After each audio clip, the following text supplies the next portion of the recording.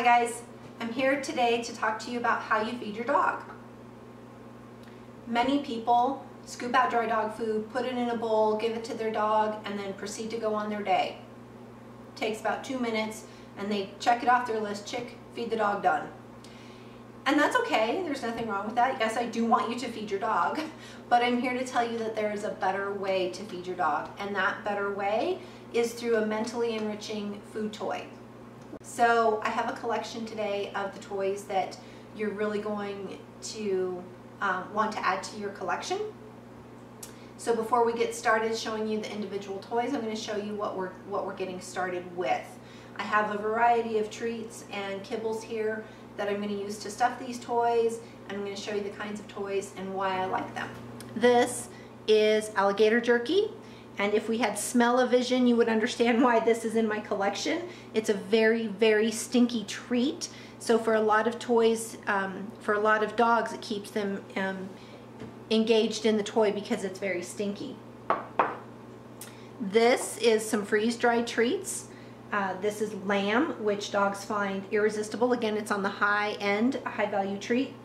And I use that to keep them engaged in the toy. This is some regular Zuke's, small, easy to use, right?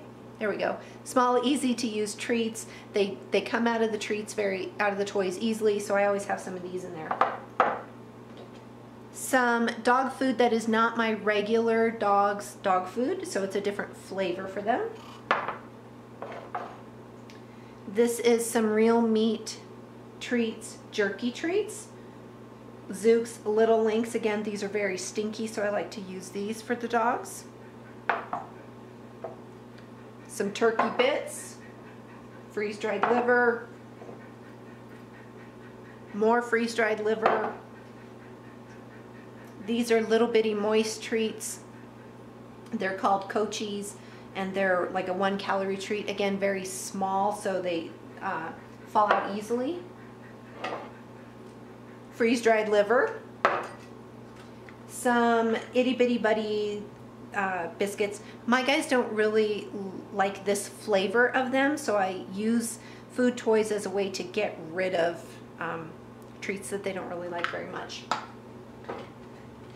These are um, freeze-dried beef testicles. Yep, testicles. Uh, again, these are high value. They don't get them very often, so when they smell them in their treats, they're pretty excited about them.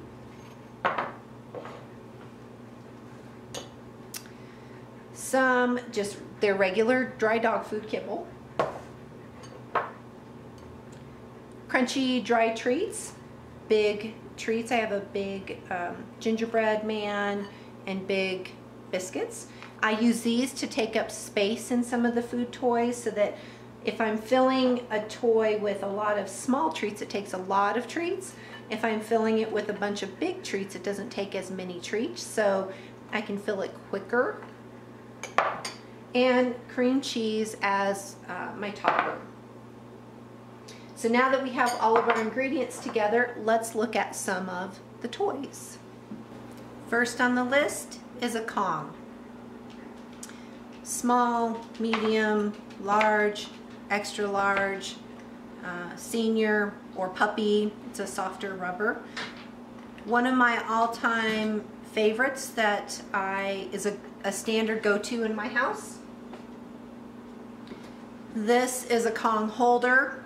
Um, my husband actually makes them. He's a he's a great woodworker for me. I had him make this for me so that I could put um, six Kongs together and what I do is I stuff them all and either put them in the refrigerator for later on during the week or um, I will often hide them all in the house for my dogs. I have three dogs so if I hide six that pretty much most all of them get two Kongs each.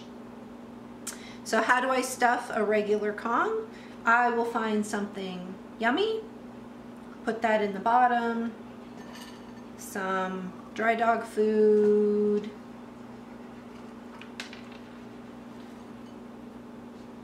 some other dry treats in there, maybe a soft treat.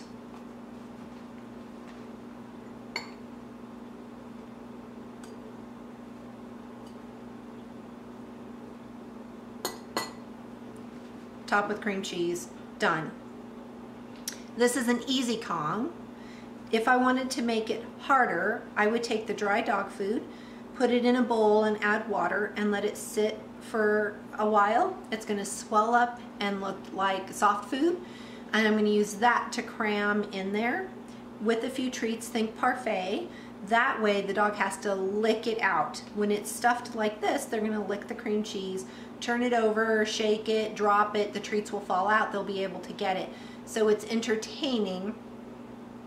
However, it's not as long lasting as it would be if it was a treat that they had to lick out. This is an old marrow bone. You can see they've already gotten all the marrow out of it. I'm going to use this the same way. I'm going to put cream cheese on the end, some treats in the middle, cream cheese on the other end, put it in the refrigerator. They've got to lick the cream cheese out. Again, I can use a soft food, stuff it in there, freeze it. And again, I now have a, a heavy duty hard Kong equivalent. The Toppl by West Paw. It comes in a small and a large. There's a hole in both of them. And the way that I like to stuff a Toppl, I will take some kind of gooiness. Uh, I don't know if you can see that really well. And I smear it in the bottom, right, along the sides in there. Something yummy,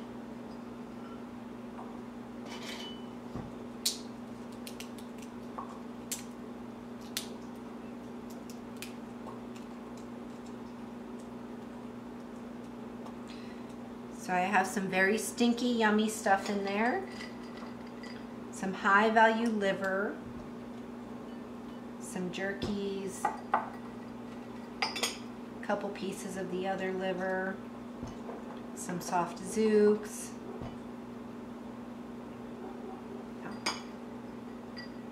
The little bitty treats because they're going to fall out of the hole easy for them.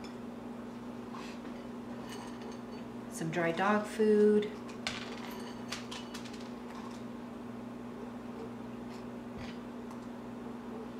Then I take the, the other portion, cram some cream cheese in there.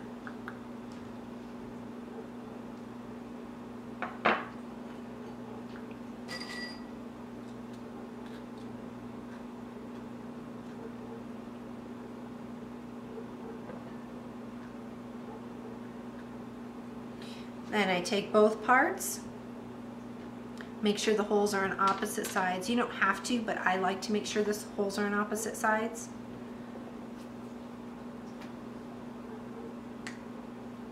Them together.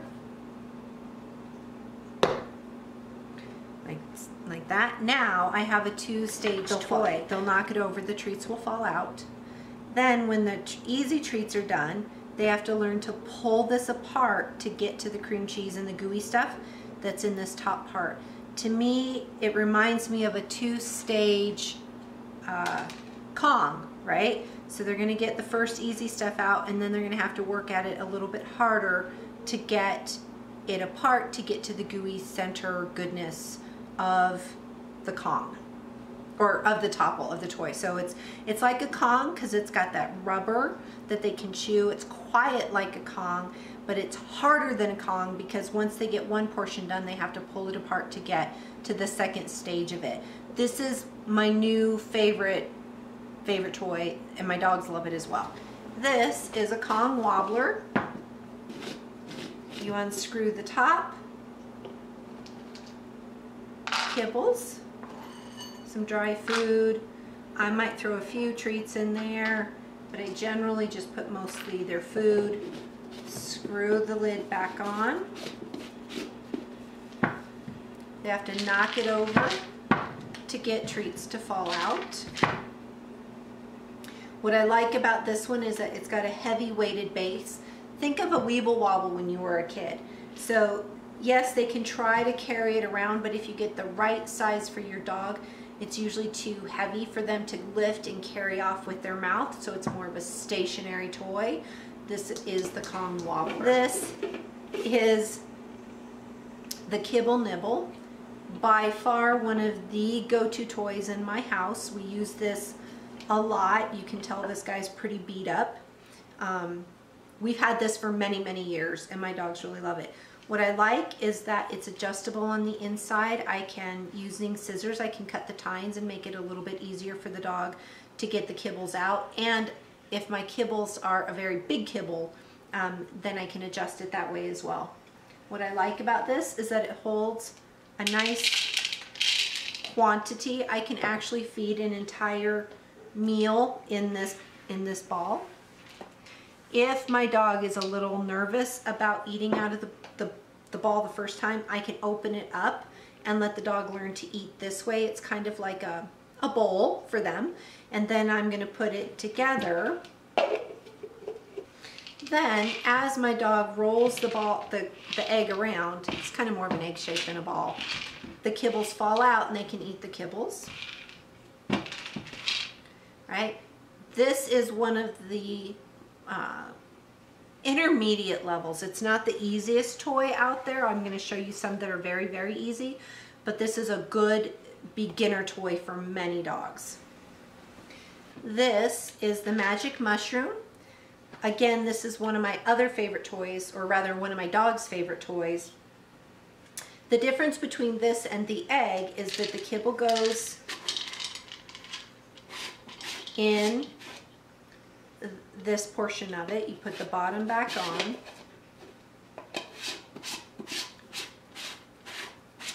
The dog has to tip the toy over and now there's kibbles in the lid and then the dog has to tip the toy over again for the kibbles to fall out. So this is one step harder than the egg, harder than the wobbler, but easier than the Toppl.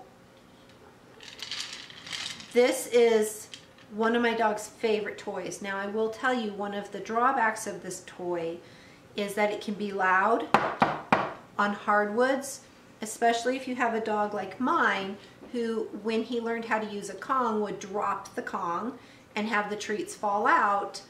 He thinks that's how you get toys to fall out of all of your stuff. And so he will pick this up and drop it. So it can be fairly loud in homes that have only hardwoods. So take that into consideration. This is uh, called the Snoop. Funny name for a great toy. So when you open it up, it's going to look like this and then you can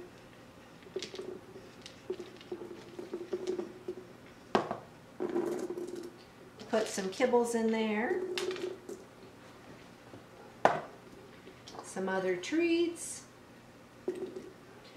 I generally stick with treats that are fairly small for this toy, and you'll see why here in a second.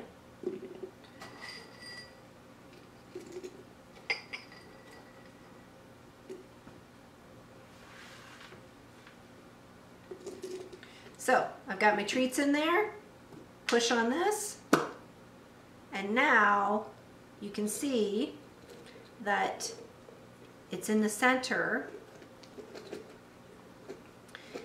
And so they kind of, the, the treats fall along this ring and they have to roll them out. And then as they roll out, sometimes stuff comes out very easily, but sometimes it doesn't depending on how you have stuffed it and how much of it has rolled up into this lip portion of it. What I do like about this is it's fairly soft. Stanley likes to carry it around this way and he will sit and play with this even when it's empty. Again, it's very soft, so if I have an aggressive chewer, this is not a good choice for them, but this is the Snoop. When they get very good at this, there is a ball that you can buy that wedges in here so that it makes it a two-stage toy as well. They have to pull out the ball to then get to the Snoop. So this is one of my um, new favorites as well. This is the pickle. This is not a meal toy. This is more of a snack toy because it doesn't hold very much. Now my dogs are not heavy duty aggressive chewers. We do have some friend dogs that come over that are pretty aggressive chewers and they have done some damage to the toy um, like right in there, you can kind of see, I don't know if you can see very well, but right in here, they've done some damage to the toy. But even with aggressive chewers, they haven't been able to do a ton of damage. And again, that's why until you know how chewy your dog is going to be, you want to monitor them. But this is one of those toys that is fairly difficult for dogs.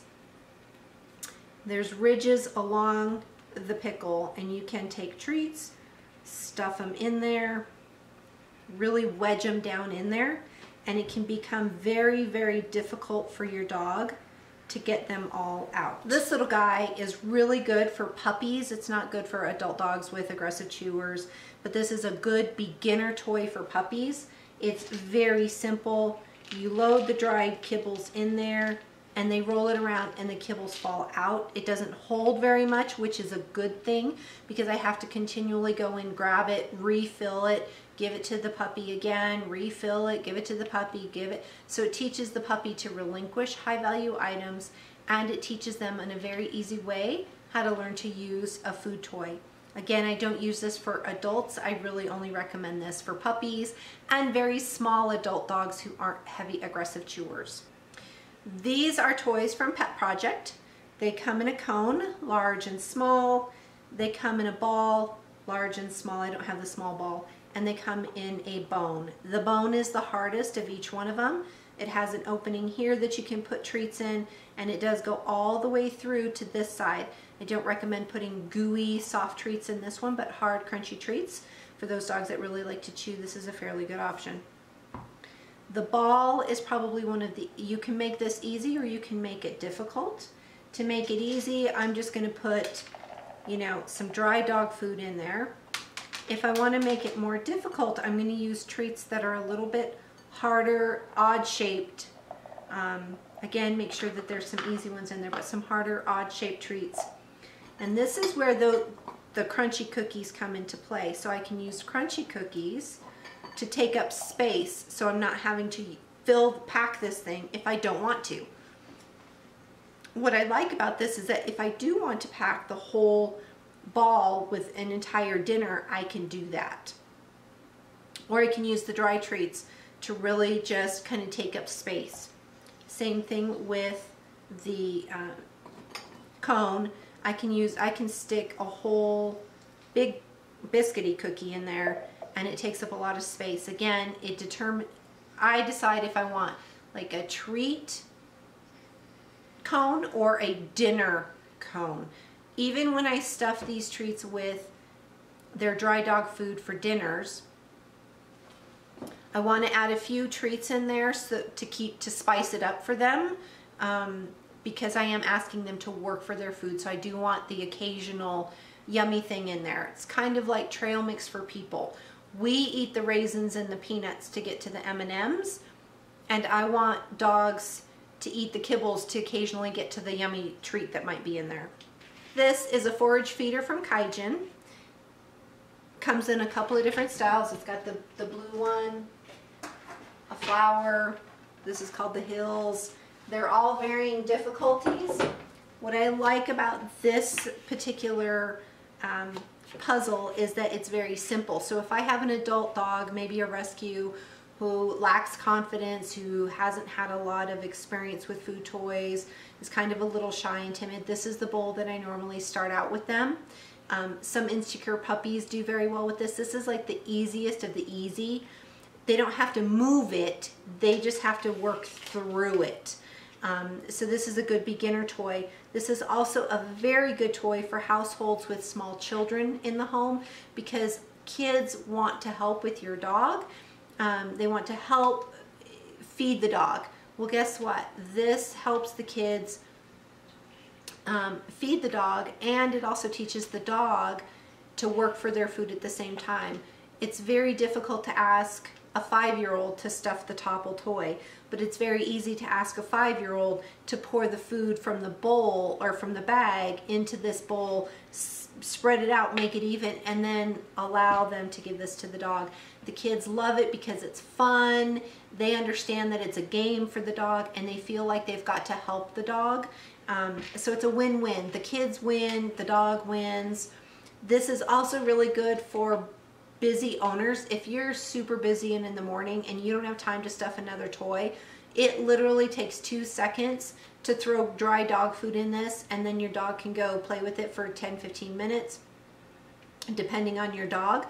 Very simple, very easy to use for everybody. I have every variety, so if I'm getting swamped, I'll throw all kibble in all the ball in all the in all of these. They each get a different one. And it's really kind of fun to see the dogs go to which toy they want best. Now that I've showed you some of the best toys out there for mental enrichment and food toys, I would encourage you to pick some up and add them to your day-to-day -day living with your dog. You will be so happy you did and your dog will thank you for it. You don't have to buy them all at once.